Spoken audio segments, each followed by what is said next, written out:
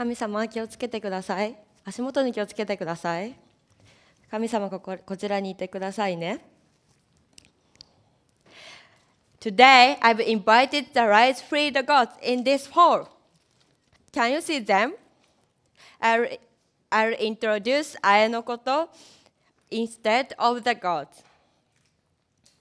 So now do you usually express your gratitude for people or things around you?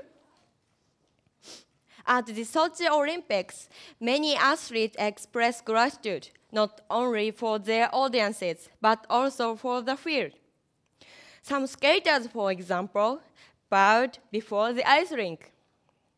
Now, let me introduce Aenokoto in Noto. It has the same spirit of gratitude. This ceremony is held in order to express gratitude for the rice field, for growing rice.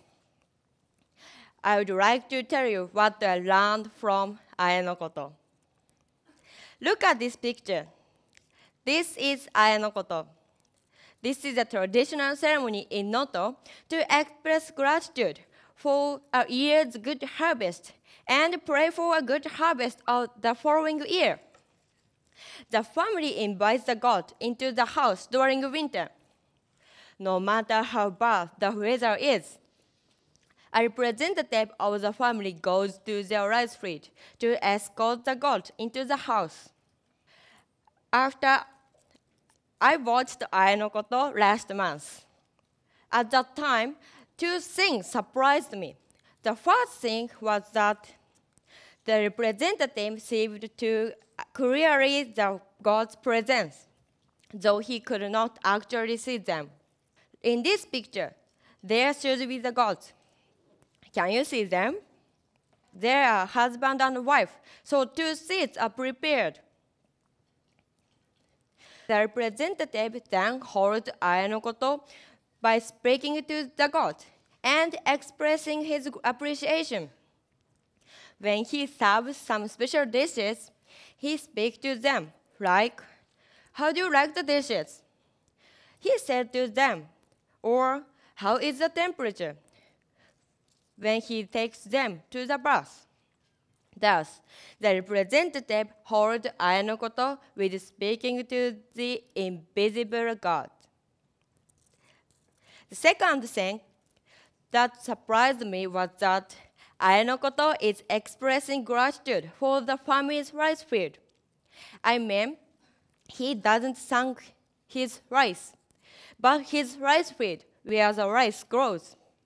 In my childhood, my mother said to me, There are eight gods in one rice grain, so you should eat without leaving anything. I, I've learned how important rice is. However, in Aenokoto, people in Noto express gratitude for the field, not the rice. I felt Aenokoto was curious. After I watched it, I came up with something similar to Aenokoto. Do you have any ideas? Please imagine sports championships. Many athletes express gratitude for their own field. Therefore, I think it's quite natural for rice farmers in Noto to express gratitude for their own rice field. These days, the environment for food is changing in, on a global scale. It's possible to enjoy various kinds of food throughout the year. It's possible to buy bananas or oranges in winter, isn't it? Moreover, on the one hand, there are starving people in many developing, developing countries. On the other hand, mass production and consumption are serious problems in developed countries.